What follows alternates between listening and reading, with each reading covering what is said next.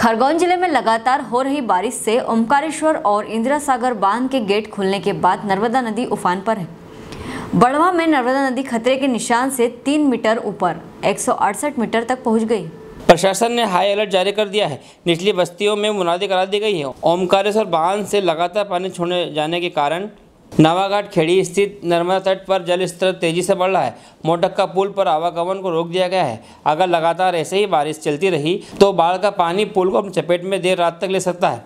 प्रशासन ने बैरिकेड लगाकर रास्ता रोक दिया है। ओमकारेश्वर बाँध के गेट खुलने के बाद नर्मदा जल का स्तर बढ़ गया है। खरगोन सजी तिवारी की रिपोर्ट। हाँ लगातार ऊपरी स्तर पर पानी गिर रहा है तो जल स्तर लगातार बढ़ रहा है।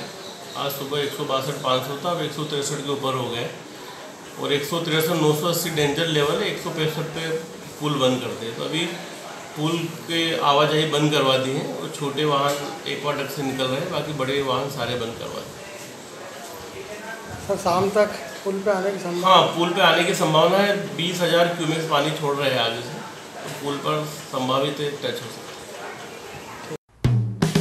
हेलो फ्रेंड्स आप देख रहे हैं हमारा channel S W twenty four news हमारे सारे वीडियो सबसे पहले देखने के लिए आप हमारे चैनल को सब्सक्राइब करें और पास में लगे बेल आइकन को दबाना बिल्कुल भी ना भूलें।